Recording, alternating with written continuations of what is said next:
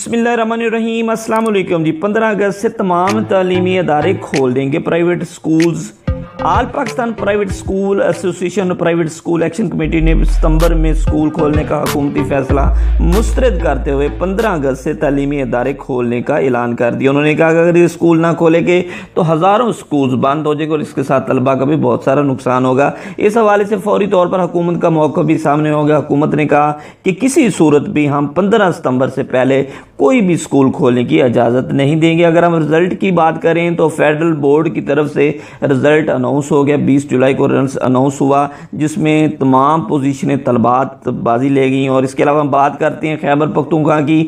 محکمہ تعلیم خیبر پختونخوا نے میٹرک، انٹر کے نتائج کا اعلامیہ جاری کر دیا۔ ان کے آٹھ بورڈ کے مطابق سابقہ نتائج کی بنیاد پر تمام بچوں کو پاس کرنے کی ہدایت جاری کر دی۔ بڑی خبر آپ کو دیتا چلوں کہ سعودی عرب میں چاند نظر نہیں، رات چاند نظر آنا تھا تو وہاں پر چاند نظر نہیں آیا۔ اور تیس جولائی کو حج ہوگا۔ جی اگر چاند نظر نہیں آیا۔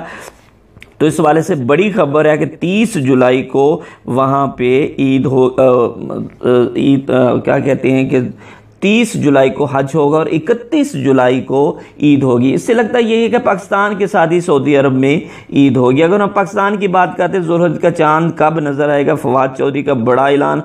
سابقہ روایت کے مطابق اس بار بھی انہوں نے ایک بڑا ٹویٹ کیا اور اس میں انہوں نے کہا ہے کہ آج رات چاند کی پیدائش دس بج تینتیس منٹ پر ہوگی تھی۔ اس لیے آج آج جو چاند ہے وہ دیکھا جا سکے گا۔ جی شام کو کراچی اور اس کے ارد گرد علاقوں میں اور اس طریقے سے پاکستان میں اگر ہم عید کی بات کرتے ہیں تو وہ بھی اکتیس جولائی کو انہوں نے بروز جمعہ کو بڑا فیصلہ اور بڑا ٹویٹ کیا ہے کہ عید ہونے جا رہی ہے۔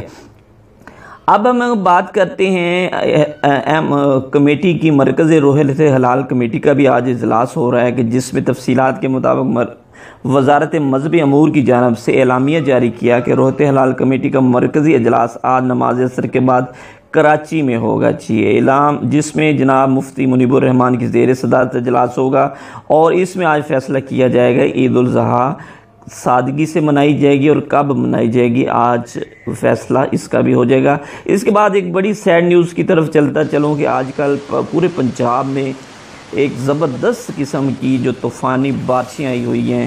اس سے بہت ساری سڑکیں ڈوب گئی ہیں اور بہت سارے حادثات ہو گئے۔ اب آج کی اطلاعات کے مطابق اب تک پندرہ ہلاکتیں ہو چکی ہیں۔ مختلف جگہوں پر سیالکوٹ میں آسمانی بجلی سے گری گرنے سے سولہ بکریاں ہلاک ہو گئی ہیں اور آج بھی بارش کا بہت زیادہ امکان ہے۔ اس کے علاوہ اگر ہم بات کرتے ہیں تو سب سے زیادہ بارش قصور میں ستاون، فیصل آباد میں اٹھتی جنگ میں ستائی مری میں چوبیس اور اس طریقے سے پورے پنجاب میں بہت زیادہ بارشیں آج ہو رہی ہیں اور بارشوں کی وجہ سے بہت زیادہ اس میں تباہی آئی ہے۔ تو اس کی اگر ہم بات کرتے ہیں تو اس میں تقریباً کوئی پندرہ کے قریب ہلاکتیں ہو چکی ہیں۔ پورے پنجاب میں طوفانی بارشوں سے اور پنجاب کے شہر اگر ہم بات کرتے ہیں تو مختلف جگہوں میں تندیالہ والا میں سات افراد ہلاک ہوئے ہیں اور اس کے علاوہ فیصل آباد قصور میں چھتیں گرنے سے پندرہ افراد کی ہلاکت ہو چکی ہے۔ جس پر وزیر جو وزیر اعلیٰ پنجاب کی طرف سے بھی ایک تعزیت کی گئی ہے اور انہوں نے کہا ہمدردی اور اظہار تعزیت کرنے والے، کرتے ہوئے مرنے والوں کے ساتھ دعائے مغرفت مغفرت کی ہے۔ تو آج کی یہ بڑی اپڈیٹ تھی۔ اس حوالے سے آج کی خبروں، آج کی جو تازہ ترین خبریں تھیں آپ کے ساتھ شیئر کی تھینکس فار واچنگ اپنا خیال رکھیے اللہ